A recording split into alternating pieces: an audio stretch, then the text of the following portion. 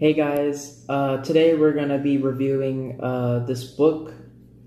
It is uh, it's a book about finance and helping you keep manage your money and being able to use that money and uh, just how to be how to have the mindset to be wealthy and to get fortune. Of course, this book doesn't uh, ensure that you will be rich, but it might help you to be someday. Uh, so, in this book, when you read it, it will give you a lot about how to have the mindset, how to have the ambition to to work towards your goals, and how those goals will make you rich. So it will give an example such as like uh, uh, determination, and then it'll talk about determination and how that plays into the role of getting money, and then it'll give examples of people in real life and how they use their determination to uh, get wealthy and use their mindset to get into that rich life.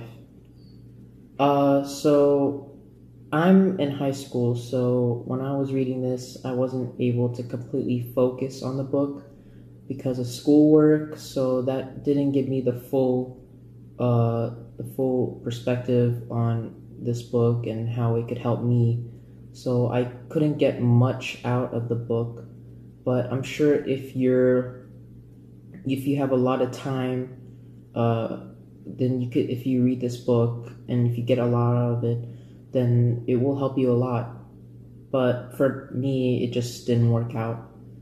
Um, so yeah, if like if you have the time, you should read this book. It's really detailed into what to do, into uh, how to continue to have um, that goal in mind for your wealth, talking about uh, how much money you want and achieving that goal, and then continue going on further and further.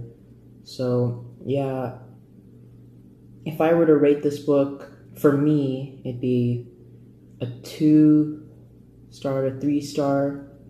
Uh, of course, my opinion doesn't uh, say the same about other people's opinions, but that was just mine. But also remember, I wasn't able to completely focus on the book, so maybe if I had um, had my full attention on reading the book, maybe it would have been better. So, uh, yeah, that's the book review, guys. Uh, thank you for sticking around and watching the video. Uh, give this book a read, and uh, thank you for watching. Uh, like and subscribe, and I'll see you in the next video. Bye. Uh, so, if I were to get the chance to read this book again in the future, I would definitely take the chance so I could fully analyze everything it says and everything uh, the author writes. So, yeah.